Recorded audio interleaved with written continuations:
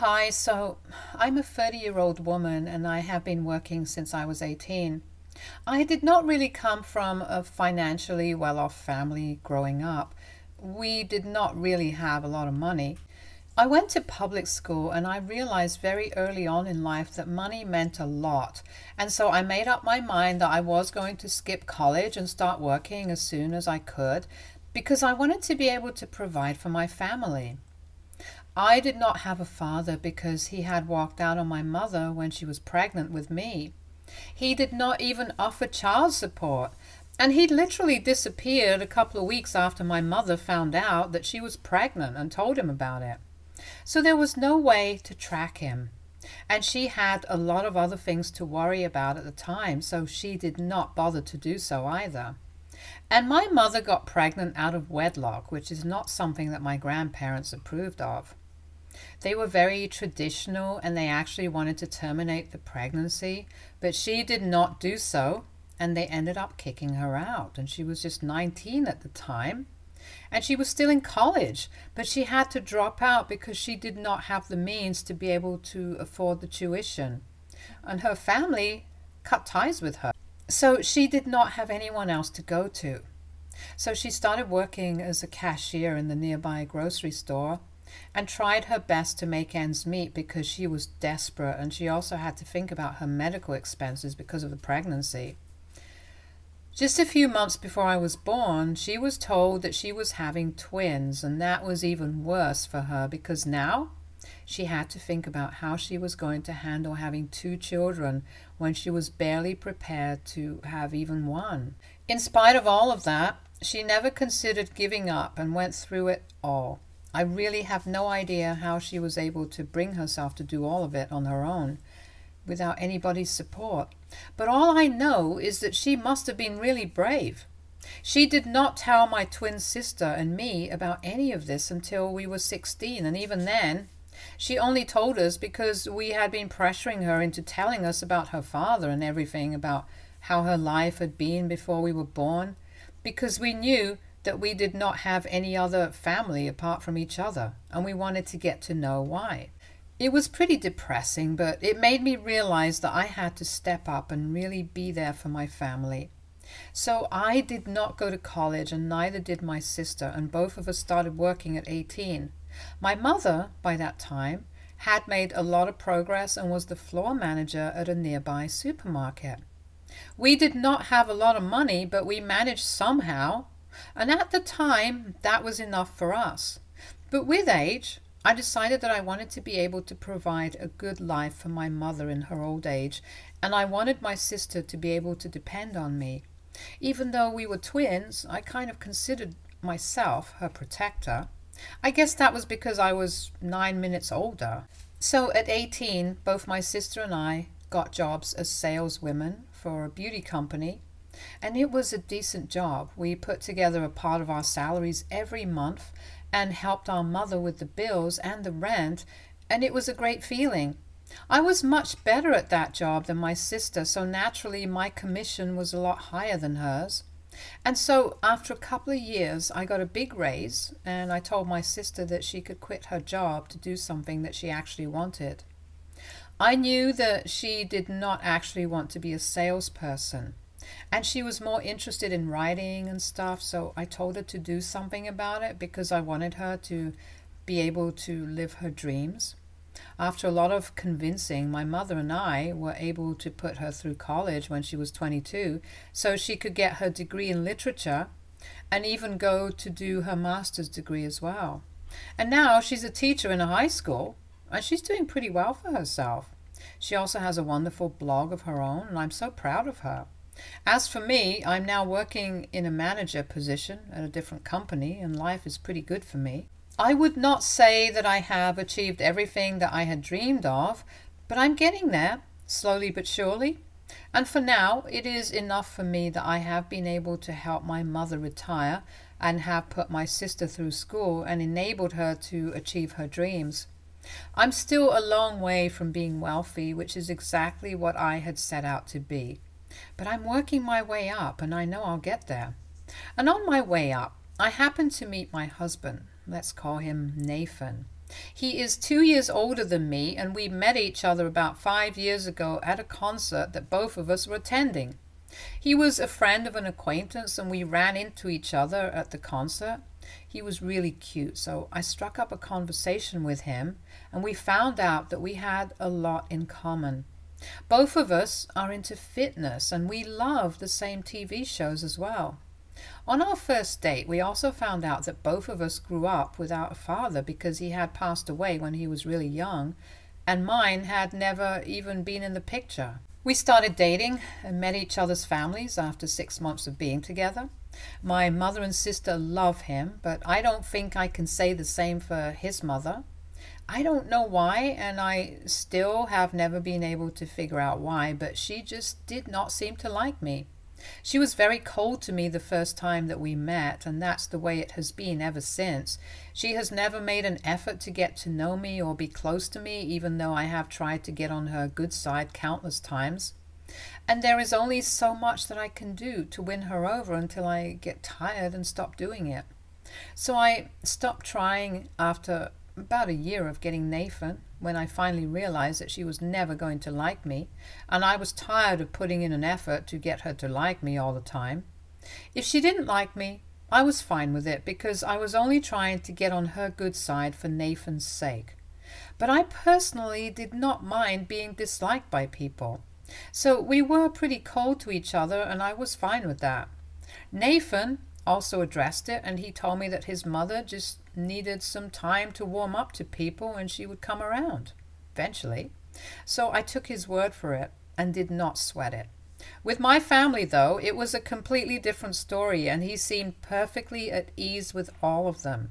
He even fit in perfectly with my sister's husband and her kids, and whenever we were all together, I felt much more comfortable than I did when his mother would be around. So naturally, I would visit his mother with him as sparingly as I could, because I knew that she did not like me, and I did not find it necessary to visit the people who did not like me or value me. Nathan never said anything about it back then, so I don't know what changed recently. He knew that I preferred to stay away from his mother, and I'm sure that she would like it as well, because she had made it very obvious to me that I was not welcome in her home. Anyway, that was how it all was back then. And there have been a lot of changes in the recent past, and I'm not sure how to feel about any of it anymore. I'm just confused, I guess. About seven and a half months ago, I found out that I was pregnant, and I was already a couple of weeks along when I realized it. I was very happy because I thought it was the perfect time to have a child, because we had been married for almost a year at that time, and I was ready. But I guess Nathan was not, because when I told him, he told me that he did not think it was a good time to have a child because he was still in the middle of setting up his business and he would be very busy for the next couple of months with his business.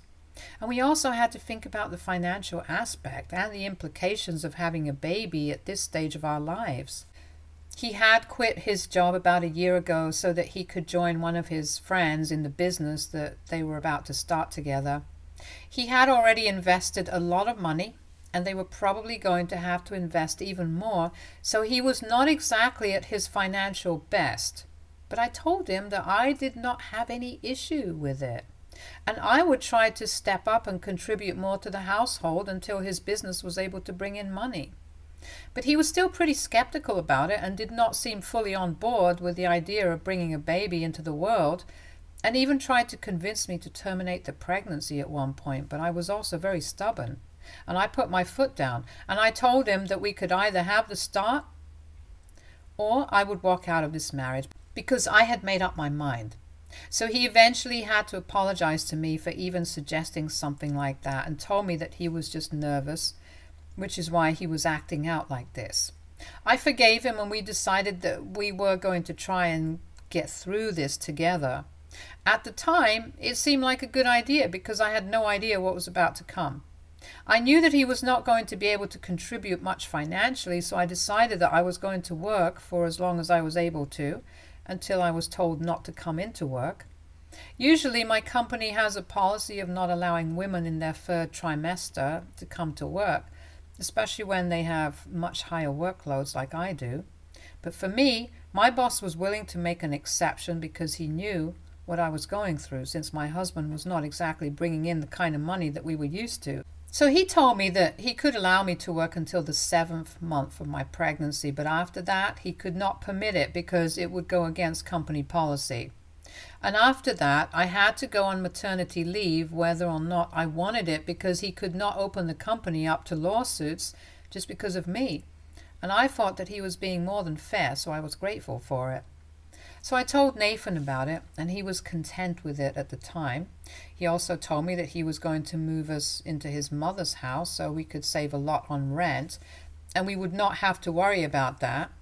I was completely against that idea and I could not believe that he was even suggesting it because he knew the kind of relationship I had with his mother. I disagreed with it vehemently, and I told him that there was no way I was moving in with her because I knew that she would never let me live in peace if I was living under her roof. And I was willing to work hard and bring in the money, but I would rather pay a huge amount of rent to live in my own home than move in with my mother in law just because we wanted to save money. But he got mad when I told him that I was not willing to move in with her. And he told me that I had just never even given his mother a chance and I was still doing the same by refusing to move in with her when she herself had offered to take us in so that we would not have to spend an insane amount of money on rent and would be able to save for the future. So we would not have to worry about medical expenses during the pregnancy or after. I thought that it was really unfair for him to say that I had not given his mother a chance because, as far as I was concerned, I had given her multiple chances to get to know me. But she was the one who never put in any effort. She was the one who didn't like me. And Nathan had acknowledged it earlier when we were dating, but he suddenly did not remember any of that when we were arguing about this a couple of months ago. I told him that if it was really about the money, then we could live with my mother. But he told me that my mom lived way too far from his workplace, and it would be very inconvenient for him to commute every single day. We discussed it for almost a week before I finally agreed to move in with his mother because I was sick of fighting. And he said that he had agreed to have a child with me, so now I had to do something on his terms, and I could not expect him to always do what I wanted him to do. And I was getting sick of arguing with him, so I decided to say yes at the time because I just could not take it anymore. In hindsight, I probably should have realized that this was not going to last because everything was going very differently from what I had expected from my pregnancy journey. After we moved in with his mother, I was really unhappy and had been for the past couple of months. She was really not a nice person to live with, and the only person who seemed to enjoy her company was Nathan. She treated me like I was an insolent toddler who would not listen to her and had a bunch of rules for me because she said that she was worried about me and wanted my pregnancy to be perfectly healthy, so I had to stick to healthy habits. Like she would make me go to bed at nine, and if I did not agree, then she would just keep nagging at me until I did, which was very difficult because I'm used to living on my own terms. She would not allow me to store any kind of snacks in the house and said that they were all unhealthy processed foods, so she could not let me consume any of it in good conscience. But I don't think it had anything to do with her conscience, but everything to do with exercising control over me. I was really annoyed by all of it, and I tried to tell Nathan that I did not like living with his mother, and I wanted to move back into an apartment of our own, and I was ready to pay for all the rent and everything, but I just did not want to live with her anymore. But he would accuse me of being biased against her and said that I was only mad because this was his mother saying all of this and trying to look out for me, but that if it was my own mother, then I would not have an issue with it. So we had a lot of arguments about it, and things between Nathan and I had been heated for a really long time before this. The only reason I did not just leave was that I did not want to deprive my future child of anything, and I knew that leaving was the easy choice, and maybe the right one, but I wanted my kid to have a father because I grew up without one, and it was not a very nice experience. So I was willing to do anything that it took to make sure that my child does not have the same kind of life that I did. But it was all pointless anyway, and I really wish that I had left way long ago instead of waiting for Nathan to change or his mother to start being better to me. I had been doing chores around the house even up until I was six months pregnant, and the reason for that was because my mother in law believed that exercise would be good for the baby, and that's why she did not think that I deserved to get some rest after work. I would try to argue with her, but she would not have it and make me do my own dishes and laundry, and I had cleaning duties for the kitchen as well. And if I didn't do any of it, then she would start going on about how she used to do everything when she was pregnant, and nobody even paid any attention to her because it was so common back in the day. I don't know what that had to do with me, but it just got to me, so I would do whatever she asked of me, just to avoid having to hear sermons from her about how hard working she had been so I guess you guys can understand that I had put up with a lot during the past couple of months of my pregnancy, and one day, in the heat of the moment, I decided to have a lawyer draw up papers to make sure that my husband gives up his rights over our child. I think I must have been really pissed off that day. Something very annoying had happened, and Nathan did not stand up for me as usual. So I stormed out of the house, and that's what I did. It was just a precautionary measure that I thought I should take because at the rate that things were going, I didn't know how long I would be able to make this marriage last because Nathan seemed like he was trying to ruin my life on purpose or something. And I was really angry, so I got those papers arranged because he was not even being a good husband at the time. So I didn't think he was even capable of being a good father. And recently, those papers finally came into use after I had been carrying them around in my purse for months, hoping that Nathan would change and I would never have to use them. But about a week ago, his mother told me that I was not welcome to live with him anymore because I was not contributing to the household enough. And that was because now that I had entered the seventh month of my pregnancy, I had finally gone on maternity leave and I had stopped doing my chores from the beginning of this month because I was too tired all the time. And I had not been contributing monetarily for the past couple of months anyway, since that was the arrangement, that I would not need to spend as much money as I would have to if I had been living away from his mother. But I don't know why, probably just to get on my nerves. The two of them thought that it was reasonable enough to ask me to either do the work in the house or contribute financially. Nathan told me that his mother was very old and it was not possible for her to do all the work around the house, so we had to contribute and do our chores. And if an old woman could do everything, then pregnancy was not an excuse for me. And then his mother told me that I was not even required to spend as much money as I would have had to, had she not opened up her home to us. So she felt that it was an obligation for me to at least do the work around the house if I could not contribute otherwise. I was shell shocked that they were saying these things, and then it got worse when my mother in law told me that I could either start doing the chores or paying for my share of everything. And there was a third alternative as well I could leave. Yet again, Nathan did not seem to have a problem with this and actually seemed to be in agreement with whatever his mother was saying. That was literally the last straw for me, and I realized I was probably better off not having a husband, and my child would definitely not be worse off for not having a father either. No father would definitely be better than Nathan. So I just told him, Your loss as calmly as I could, and then pulled out the papers that I had been hiding in my purse for ages now. I handed those papers to him, and then I walked out. I did not even bother to pack my things or anything, and just walked out of the house. I got a cab and headed straight to my mother's house, and once I was there, I just broke down. I could hear my phone ringing, and I knew that he was texting nonstop after I walked out of the house. But I still had not responded to any of it. I spoke to my mother and I told her everything that I had been put through and how they had been treating me. She was outraged and she immediately told me to contact my lawyer and file for a divorce because I would be much better off without him. And that was the fact of the matter.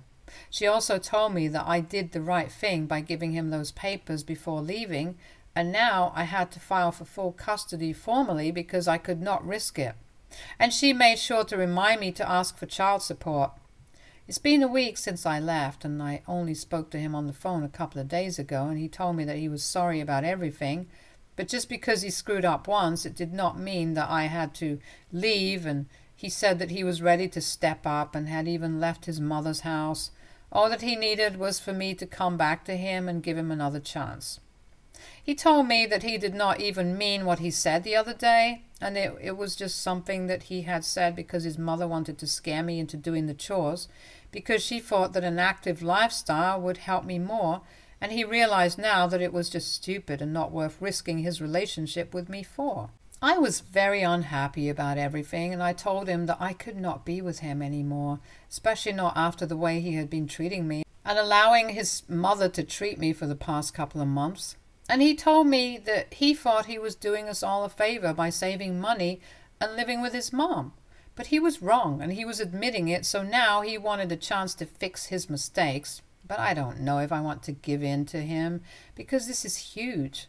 I don't want my son to grow up without a father, but I definitely don't want to put myself through the kind of things that I had been through in the past few months of my pregnancy, because these were really tough times for me, and I don't even know how I got through it. So AITA for not wanting to go back to my husband after he and his mother told me that I had to either contribute to the house or leave, even when I was seven months pregnant. Update 1. Hello, thank you everyone for the kind of support that you guys have shown me. And I really can't think of appropriate words to express how great I feel after going through the comments on my original post. It's really, really kind of you guys. I have decided to go through with the divorce and file for full custody of my baby because right now it's the best thing for all of us. I haven't spoken to Nathan yet, but I'm going to have to tell him eventually. It has been two weeks since I walked out, and I have been feeling very strangely guilty about what I'm doing, but I don't care. I have to think about my future, and more importantly, I have to think about my baby's future. So if this is what it takes, I'm ready to do it. My mother and sister are very supportive of me, and even strangers on Reddit agree that this is the way to go for me. So what I'm doing can't be all that wrong. Update 2. So I finally told Nathan that I'm going through the divorce and I'm also filing for full custody, at least until our baby is old enough to talk, because I can't exactly trust him right now. He was not happy about it in the slightest, and we got into a huge fight over the phone. He called me a lot of names and said that he regretted ever meeting me or marrying me. He accused me of trying to ruin his relationship with his mother and said that he could not believe that I was now trying to deprive him of the experience of being a father. I was really mad because I was not trying to deprive him of anything. In fact, the only reason I had stayed with him all this while was because I wanted him to be a part of my life and to be a part of his baby's life. But he was the one who had shown me time and again that he was not capable of it, and I could not trust a man so incompetent. And his mother, well, that was another story altogether, and I did not want anything to do with her any more. She was a horrible human being, and she had put me through the worst, so I did not owe it to her to be kind or say nice things about her. And if saying the truth counted as trying to turn him against her, then maybe she should just be a better person. But anyway, coming back to Nathan, I told him that my decision was final and no amount of arguing with me was going to change my mind. In fact, it was only making me believe that I was making the right choice by filing for a divorce and full custody. Because he was acting like a brat, and that's the way he had been ever since I got pregnant.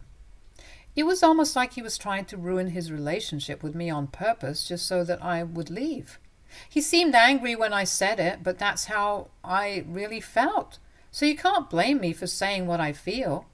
And I had been keeping these things to myself for a really long time. I can't do it anymore. He needs to hear exactly what went wrong because we were married and we were together for a long time. Both of us deserve clarity and the truth. I was ready, to be honest. I don't think he is. But whatever. It doesn't matter anymore because everything is coming to an end. And now, I'm just going to care about myself and the baby, period. Update 3. The divorce is in the works right now, and well, it is not easy. Nathan and I have not been speaking ever since that last phone call, and I know that he's gearing up for the custody battle with his lawyer. But he can bring it on. I'm not scared. I have my family and they have my back, so I am not really scared of anything right now. And I also know that I am doing the right thing, so it's fine. I have a good lawyer and I know that we are going to do our best. His mother has been spreading all sorts of rumors about me among our friends, but I don't care about that. As long as it does not affect the divorce. She's a pretty disgusting person, and this is exactly the kind of thing that I would expect from her. From what I have heard, Nathan is back to living with her. Good for them, I guess. Stay tuned for more stories from rGirl Relationships.